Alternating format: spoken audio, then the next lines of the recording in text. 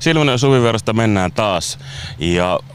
tällä kertaa vieraana on kaveri, joka taitaakin olla muuten eniten tässä sarjassa esiintynyt mies. Ja nyt kun tultiin videoiden pariin, niin eihän tämä sarja mitään ilman Juhani Jasua. Eli TPS-kippari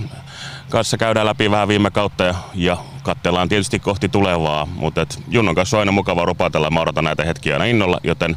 ei muuta kuin mennään jakson parin pitemmittä puhetta.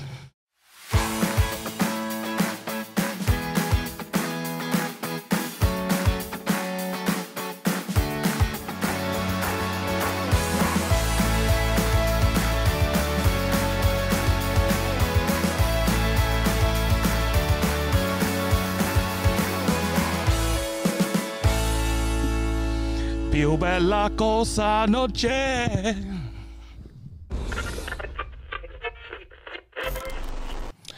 Suviverasta ollaan viettämässä tällä kertaa taas täällä Nantalin aurinkogolfissa ja tota, no, niin, vieras on vaihtunut, mutta Suvivieraan seuraajille hyvin tuttu mies ja kaiken voi muutenkin tuttu mies TPS seuraa, eli kapteeni Juhani Asu on saapunut vieraaksi. Mä ajattelin nyt, kun tässä on vähän sunkin kanssa Nämmontallainen ollaan tehty, niin formaatit on vähän vaihtunut vuosien varrella. Niin kun eka kertaa video, niin totta kai oli pakko ottaa sut tänne sitten vähän niin kuin kesäpäivää mun kanssa istua. Mitä kuuluu? Ihan hyvä, hyvä kuuluu ja kiva olla täällä ja aika kiva milja, niin kyllä tää mulle kelpaa oikein hyvin. no niin, kolmas vierailu siis. Nyt pitää jo vähän puitteet parantaa, että saadaan sut tänne näin, mutta ei vaikka. Tota, äh, mä ajattelin tietysti niin nyt kun tässä on hetki aikaa kulunut, niin on ehtinyt niin pölyt laskeutuu ja katsellaan totta kai kohti tulevaakin, mutta et vähän on taaksepäinkin nyt, kun varmaan vähän niin kuin perspektiiviäkin tullut, että mitä kaikkea niin kuin viime kaudella oikein tapahtui, niin, tota, niin, niin totta kai se on selvää, että se oli kaikilla pettymys, miten viime kausi päättyi ja muistan kyllä, kun siellä Porissa viimeisen kerran juteltiin, että, tota, no, niin, että ei se välttämättä, mä sitä aina sun äänestä kuule, että, tota, että millainen fiilis on. Kyllä se näki päälle päin, että niinku, kyllä se pettymys oli aika kova. Ja ehkä hiukan kuulukin toki, mutta et, et, et, varmaan aika tyhjä oli sillä hetkellä, mutta et, niin kuin nyt jos katsellaan taaksepäin, niin, niin tota, mitä se sanoisi se niin kuin päällimmäisin juttu, niin kuin, että millainen retki toi viime vuosina oikein oli? No kyllä se sitten tietty aika, aika raskas, että et, tota, totta kai tuossa keväällä on aina niin kuin mahdollisuus tavallaan huuhtoa iso, iso osa siitä niin kuin muusta negatiivisesta pois, mitä matkan varrella väkisinkään tulee, että on se lopputulos mikä tahansa, niin kyllä siihen aina yhteen kauteen mahtuu aika paljon kaikkea, niin positiivista kuin negatiivista. Niin, niinhän se oli viime vuonnakin, että ei se, ei se nyt pelkkä, pelkkä skeida ollut missään nimessä, mutta et, et tota, jotenka ei niin missä vaiheessa saatu sitä sillä niin että se lumipallo lähtisi vyörymään. Et, et kyllähän me paljon, paljon tehtiin hommia, jokainen, joka siinä oli mukana ja, ja tota, yritettiin löytää keinoja ja, ja sitten niitä aina välillä hetkittäin löytyikin, mutta mut jotenkaan ne ei niinku sit loksahdellut ne palaset sillä paikoille, että et se olisi niinku jatkunut ja jatkunut ja, ja peli kehittynyt jatkuvasti. Et, et sitähän sitten kuitenkin vaatii, että et pystyy menestyä keväällä, että et se peli kehittyisi jatkuvasti. Ja, ja jotenkin se jäi vaan uupumaan ja, ja tota, tietty paljon, paljon niinku, kauden aikana sitä joutuu niinku, niinku itse tavallaan blokkaamaan poiskin sitä niin kuin huonoa, jotta, jotta riittäisi niin kuin energia siihen, että pystyisi rakentamaan uutta ja, ja parempaa koko ajan, niin, niin tota ehkä se vasta niin kuin, tai siinä kun viimeinen peli oli, niin on tietty pettymys, pettymys niin kuin tavallaan siitä hetkestä, eikä ehkä sitä ihan koko kuvaa siinä niin kuin hahmota, mutta et, et sit kun mitä pidemmällä aika menee, niin sit sitä ehkä alkaa tajumaan, että siellä on koko ka- et se on niinku se koko kauden tulos sit kuitenkin se, se viimeisenkin pelin tappio, vaikka se niinku tavallaan on, on tosi pienestä kiinni yhdessä pelissä, mutta et, et tavallaan sitten kuitenkin saatiin just sen, mitä ansaittiin ja ei saatu sitä, mitä ei, ei ansaittukaan, että et, tota, isossa kuvassa kun miettii. Et varmaan siinä on, on niinku tosi paljon niitä tekijöitä, mutta kyllä mitä nyt on, varmaan on sanonutkin se jo, jo joissakin paikoissa ainakin, mutta että mitä itse pelaajana ajattelee, että voisi niinku tehdä paremmin, niin, niin tietty se kaukalon, mitä siellä tekee, niin siinä, siinä voidaan parantaa, mutta ehkä semmoinen, että oltaisiin saatu jollakin tavalla siitä joukkueesta niinku vielä yhtenäisempi ja, ja semmoinen niinku samaa, samaa happea hengittävä, niin, niin tota, siihen ollaan nyt, nyt jo tässä kesällä koitettu panostaa ja, ja ehdottomasti tullaan panostaa, mitä pidemmällä kausi tässä meneekin. Mutta on varmaan vähän, siis niin ei, ei lätkä sikäli irrallaan muusta elämästä ole, että on varmaan sama asia kaikissa asioissa, että et tota, kun sä oot siinä tilanteessa, niin nimenomaan niin kun, siinä se ajatus on vaan niin kun se siihen hetkessä eläminen ja se, että mitä se tilanne vaatii. Ja tavallaan niin se, just sen kokonaiskuva ymmärtää vasti, kun se juna alkaa vähän niin mennä siihen horisonttiin, alkaa vähän näkeä sitä muutakin maailmaa siitä ympäriltä. Joo, ehdottomasti just näin. Ja, ja tota, tietty niin kuin nois kevään peleissä varsinkin, niin sitä näkökenttää tavallaan yrittää tietoisestikin pitää aika, aika niin kuin kapeana, että et ei ala liikaa miettimään mitään menneitä eikä tulevia eikä, eikä niin kuin liian iso kuva. Että et kyllä siinä kuitenkin tarvii niin kuin siinä, niissä pelihetkissä tarvii se fokuksen olla aina, aina vaan niin kuin mahdollisimman niin kuin kapea ja terävä, että et tota, sitten sit kauden jälkeen on sit yleensä vasta sen, sen vuoro, että alkaa miettiä niin kuin isommassa kuvassa, että mitä on tapahtunut. Onko tämä vähän sellainen sit juttu tavallaan, niin kuin, että, että ehkä jotain niin tiedostaakin, että mitä voisi olla paremmin, mutta just senkin takia tarvii keskittyä siihen, että mikä on hyvää ja niin kuin sitä, mä veikkaan just, että niin tämmöisessä haastattelutilanteessakin niin kuin just, että tulee puhuttua ulospäin varmaan enemmän sen posin kautta just sitä kautta, että, että niin kuin sillä mielellä, että, että tavallaan että niistä asioista se menestys tulee, jos on tullakseen. Onko mä yhtään jäljellä? No joo, just, just tota ja sitten sit kuitenkin se, että kun tuossa kauden aikana, niin siinä on vaikea niin kuin, vaikuttaa niin kuin kauhean moniin asioihin kerrallaan ja, ja pä, niin kuin yhden päivän aikana. Et, et siinä on, niin kuin täytyy tietyllä tavalla löytää ne niin kuin oleellisimmat asiat ja sitten vähän niin kuin antaa niiden epäolennaisuuksia olla vaan. Ja, ja tota, ehkä itse ja sitten ketä kaikki siinä ympärillä muut on, niin yhdessä niin kuin löytää se, ne jutut, että mitkä oikeasti vaikuttaa sit siihen tulokseen ja, ja siihen niin kuin, että miten, miten pystytään suoriutumaan. Sitten jos siellä on huonosti jotain, jotain vähän epäolennaisempia asioita, niin välillä, välillä se on välttämätöntä, että niitä sitten vaan annetaan olla ja ehkä niinku tietoisestikin vähän ummistetaan silmiä. Okei. Okay. Miten sitten tota, no, niin menee, niinku, että tällaista asioista puhutte pelaajien kesken, niin onko tämä niinku keskustelu, mitä käydään niinku koko joukkojen voimin, vai onko teillä joku tietty porukka, minkä kanssa asiat vähän kanssa puntaroidaan keskenään, vai miten se menee se homma? Mm, no kyllä, no riippuu paljon tilanteesta ja, ja asioista, että et kyllä, kyllä siihen yleensä muodostuu semmoinen niinku tiiviimpi ryhmä, minkä kanssa niinku useammin melkein jopa päivittäin käydään, käydään juttui, juttui läpi ja vaihdetaan ajatuksia. Sitten taas sit kun löydetään semmoinen tavallaan punainen lanka, niin ehkä sit, sitä niinku käydään sit koko porukan läpi. Et, et tietty niinku kaikki pitää osallistaa, mutta et et ei, ei siitäkään mitään tulisi, jos jatkuvasti olisi 25 jätkää koossa ja, ja käydään joka, joka pikku asia läpi yhdessä. Niinpä, siis tuossa on varmaan just se kanssa, että, että, että sit helpommin varmaan sitä pakkaa tulisi sekoitettua enemmän sillä. Joo, kyllä, ja sitten sit sekin paljon vaihtelee, että kuinka paljon äh, kukakin haluaa olla semmoisessa niinku pohtimisessa ja päätöksenteossa ja, ja semmoisessa mukana, että toisilla se on hyvin luonnollista, toiset taas haluaa pysyy enemmän vaan siinä, että suorittaa se oma juttunsa. Ja se on ihan fine, että, että on, on, meitä on paljon, paljon erilaisia tyyppejä niin täällä arkielämässä kuin sit myös tuolla jääkiekko kaukalon ja jääkiekko kopin sisällä. No sanoit sitä, että nyt, nyt jo niin kuin koitettu panostaa siihen, että se joukko olisi yhtenäisempi, niin pystyykö se meitä nyt yhtään vähän valottaa, että mitä asioita sitten on niin tehty? No ollaan nyt jo niin kuin mietitty, että, että mitkä, mitkä olisi semmoisia paikkoja, katsottu vähän sarjaohjelmaa ja harjoitusohjelmaa, että missä pystyisi tekemään asioita yhdessä muutenkin kuin kaukalon sisällä tai, tai tuolla halliympäristössä. Se, se on myös yksi tärkeä osa, että opitaan mahdollisimman nopeasti tuntea toisemme. Seurajohto on järjestänyt, että tässä kesäharjoittelu viimeisellä viikolla saadaan jo kaikki, kaikki pelaajat koko yhteen viikoksi. Tietty viikko lyhyt aika oppia niin oikeasti tuntemaan uusia, uusia ihmisiä, mutta se, että ollaan kuitenkin jo tavattu, niin se on, se on iso askel ja ihan eri tava, tavalla pystyä tulee niin kuin elokuussa, kun harjoittelu, yhteisharjoittelu alkaa, niin, niin ollaan ainakin kaikki tavattu toisemme ja jonkun verran tutustuttu, niin niin tota siitä, siitä seura, seuraajalle kyllä kiitos, että se on aika poikkeuksellista, että saadaan ulkomaalaispelaajia myöten, niin kaikki kasaa jo tässä kohtaa. Et ei, en muista, että olisi omalla uralla ennen ollut näin. että se on myös iso, iso apu just siihen niin kuin ryhmäytymiseen ja semmoisen yhteyshengen luomiseen. Ja sitten paljon ollaan puhuttu siitä, että niin kuin yhdessä tekemistä muutenkin kuin vaan tuossa meidän työympäristössä, niin, niin tota, ne on jo semmoisia aika merkittäviä juttuja askeli. No kuulostaa. Tietysti varsinkin, jos sullakin tosiaan tuo perspektiivi uravalla tuot eka kerta kun näin, niin se on jo aika iso juttu. Tota noin, niin, ää, sulla on varmaan kuitenkin sitten taas, kun tämmöisiä asioitakin niin kuin pohtii, niin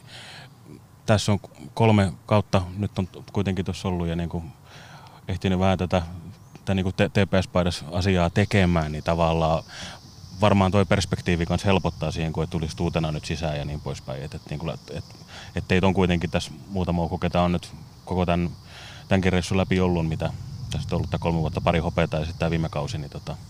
että et tavallaan niin on ne vertailukohdat, että milloin on mennyt, mennyt, mennyt hemmetin hyvin ja sitten taas vähän niin kuin heikommin. Joo, ja sitten varmaan just se, että, että tota, ehkä silloin kun on mennyt hemmetin hyvin, niin ei ehkä ole sit ihan niin hyvin mennyt, kun puhutaan. Ja sitten taas toisinpäin, että silloin kun on mennyt huonosti, niin ei sekään ehkä ihan niin huonosti on mennyt kuin mitä puhutaan. Et, et yleensä se totuus löytyy jostain siitä välimaastosta, mutta mut tota, ehdottomasti näin, että niinku isossa kuvassa täällä on kuitenkin asiat tosi hyvin ja, ja tota, nyt mun mielestä meidän joukko näyttää siltä, että olla, ollaan valmiina kyllä menestymään ja, ja tota, tarjoamaan hyvää lätkää. No toi on kyllä sikäli hyvä, jos kun miettii tota, no, niin vaikka viime kauden loppuun. Tai ylipäätään tämä on kyllä tosi tulosorientoitunut tämä homma just, että, että, että, että kun olitte, olitte finaalissa, niin kaikki oli hyviä nyt sitten tota, no, niin kuin, tai tuossa noin karsitakierroksella lauluun, niin taas kaikki oli mahdollisimman huonosti, niin tavallaan miten sä suhtaudut siihen aika isoihin otsikoihin, mitä tuossa pyörii nyt sitten keväällä, että pystyykö sä jättämään ihan oma arvo sitten vaan? No en nyt ehkä ihan oma arvonsa, että et, tota, eihän, niitä, eihän niitä kiva ollut katsoa ja lukea ja, ja tota, kuulla sitä kaikkea negatiiviset, mutta sitten toisaalta niinku sen osaa sitä myös miettiä vähän sillä, että et, tota, noin paljon kuin kiinnostaa ja, ja ihmiset kirjoittaa ja toiset lukee ja, ja pu, paljon puhutaan ja monet tulee juttelemaan tuolla kaupungillakin ja missä miss sattuu näkemään, niin, niin se hyvä puoli siinä on, että, että Tepsi kiinnostaa ja on, on selkeästi ainakin tämän alueen ihmisille niin tosi tärkeä ja, ja tota, se on niinku ehkä se positiivinen puoli, mitä siitä on hakenut ja, ja tota, sit muuten kuitenkin itse on sitä arkea tuossa elänyt ja, ja tota, nähnyt aika paljon tietty kaiken, mitä, mitä kopissa tapahtuu ja sit jonkun verran nähnyt sitäkin, mitä sit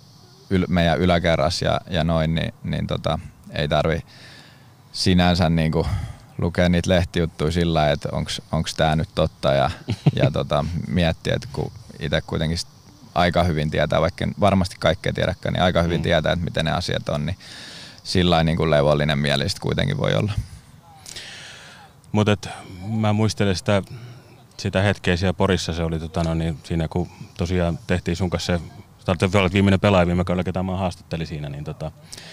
niin, niin mä muistan, että sä, sä puhuit sitä just, että et, tota, et, et, et meille, ketkä tänne jää, niin täytyy niin isosti miettiä, että miten, mikä, mihin tästä mennään. Niin, tota, niin, niin kuulosti siltä, että, että tavallaan, että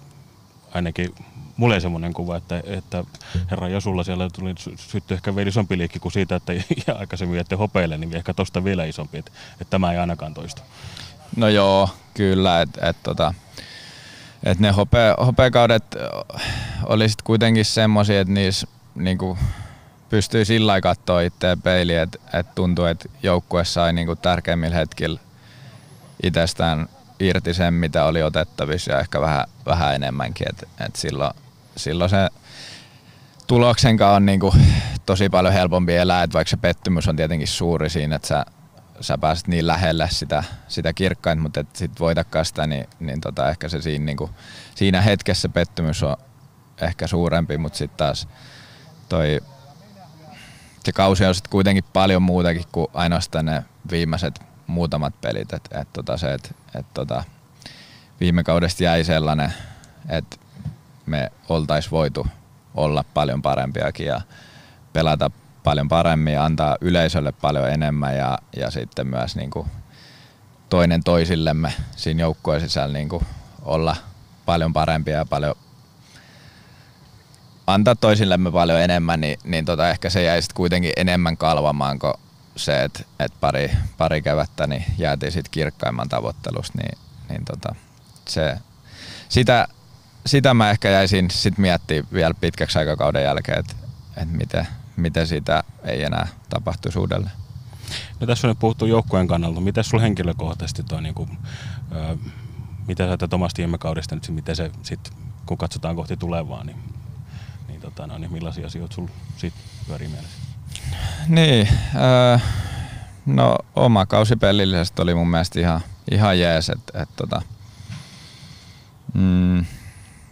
pystyin, pystyin pitää tasoni niissä asioissa, missä halusinkin ja tietyissä asioissa varmasti tuli vähän steppejä steppejä lisääkin, että et, tota, ihan, ihan tyytyväinen olen oman kauteen ja, sitten, ja mitä tulevaan tulee, niin kyllä sitä edelleen tässä, tässäkin iässä niin haluaa olla parempi, että kyllä mä luulen, että se on niin kuin ammattiurheilijoilla oli ikäistä mikä tahansa, niin niin kauan kuin tosissaan vedetään, niin silloin halutaan olla parempi joka ikinen päivä. En usko, että tässä en mä ikinä ollut niin lahjakas pelaaja tai, tai edes urheilija, että,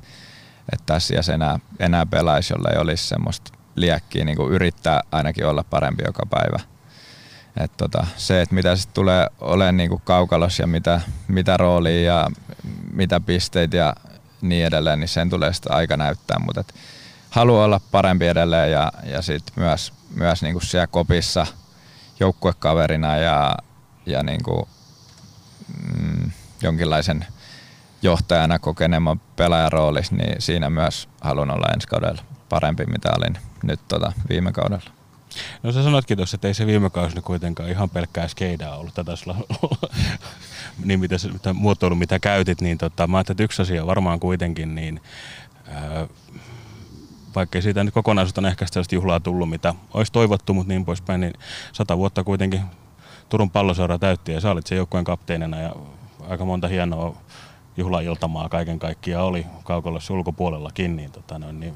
kai siitä on varmaan jotain hyviä muistoja ja tämmöisen kunnian kuitenkin saatu Saksassa. No jäi ehdottomasti, että kyllä siinä oli, oli tosi hienoja, hienoja tapahtumia ja, ja tota, se, että et sai olla siinä kapteeni, niin joo, en mä ehkä sitä sillä niin hirveästi ajatellut, enkä ajattele vieläkään, et, et niin kuin, mutta et se, että sai olla niin kuin mukana siinä koko joukkue ihan yhtenä joukkueen jäsenä niin kuin niin kuin kaikki muutkin siellä alakerras, niin, niin ne oli kyllä hienoja ja, ja kaikki ne juhlallisuudet ja, ja kaikki, niin ehdottomasti jäi mieleen kyllä. No mikä no, mitä sun suosikkihetkeä niistä? No en mä ehkä semmoista yksittäistä pysty sanoa, mutta mut tota, kyllä siinä monet kylmät väret meni, meni niissä juhlapeleissä, oli sit paidan nostetusta tai mitä vaan, niin, niin tota, kyllä ne oli kaikki tosi hienoja. Tota noin sitten otetaan katseet tulevaan, niin kuin mä tässä sarjassa joka jaksossa sanonut, niin mä tiedän, mä tiedän, vasta kesäkuumat tulolla ja pitkä matkaa sinne, että kausi alkaa ja niin poispäin, mutta et, tietysti kun meillä nyt on kunnia saada sinut tähän vieraksi, mun on pakko kysyä. Vähän niin kuin otetaan fiiliksi, miltä niin, niin kuin nyt tulevan kauden joukkue näyttää, kuitenkin aika valmissa taitaa tosi paperilla olla, niin tota, mikä, millainen päällimmäinen fiilis siitä nyt? Tosi hyvä fiilis, että, että, että tota, mun mielestä meillä on niin kuin tosi jämäkkä ja kokenut pakisto. Ja sitten hyökkäyksessä mun mielestä laajuutta enemmän mitä on ollut tässä nyt viime kaudella tai, tai ehkä edeltävi, edeltävilläkään. Et, et tota, kyllä mun mielestä on, on tosi, ja maalivahti, mun mielestä sekin maalivahtipuolikin näyttää hyvältä. Ja vähän ollaan oltukin tuossa jo jäällä, niin, niin tota, ei ole sillä niin kuin, en ole huolissani, että et, tota, tietty en ole kauheasti katsonut, miltä, miltä muut joukkueet näyttää. Et, et, mutta et, mun mielestä meillä on hyvä joukkue jalkeilla ja, ja tota, mitä ollaan valmennuksen kanssa juteltu ja, ja tota, he on kertonut, minkälaista peliä, peli halutaan pelata, niin mun mielestä se kuulostaa kaikki tosi hyvältä. Se kuulostaa semmoiselta, että se on pelaajille kiva pelata ja uskon, että myös katsojille kiva katsoa ja sitten mikä tärkeintä, niin siellä pystyy voittaakin pelejä siitä saadaan hyvää askelmerkkiä kohti syksyä. Ei muuta kiitos haastelusta Juhani ja Asu ja oikein hyvää kesää ja me palataan näihin, näihin asioihin tässä tosiaan syssymällä. Kiitoksia. Tehdään näin. Kiitos paljon ja samoin hyvää kesää.